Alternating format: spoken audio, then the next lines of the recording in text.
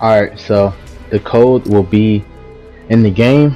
Um, just pause the game and it'll give you the code. This one's pretty easy. There's like five spots that you can use. And it's gonna be very easy. So the first one or the first thing you want to do is go to this area you want to emote and then you want to um wait for the timer it's a 15 minute timer not too long after you do that you want to put this code in. It's 818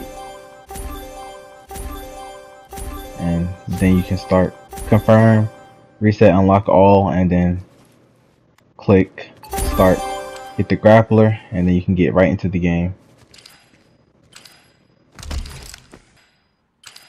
Alright, when you get to the game, you want to look up and you want to shoot the grappler up in the air.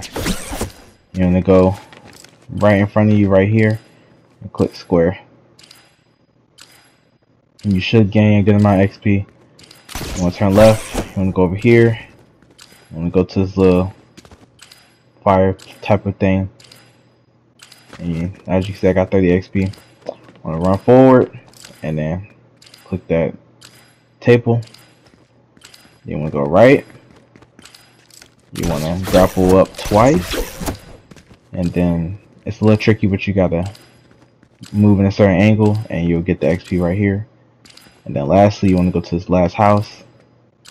And it's going to be XP inside this little house up top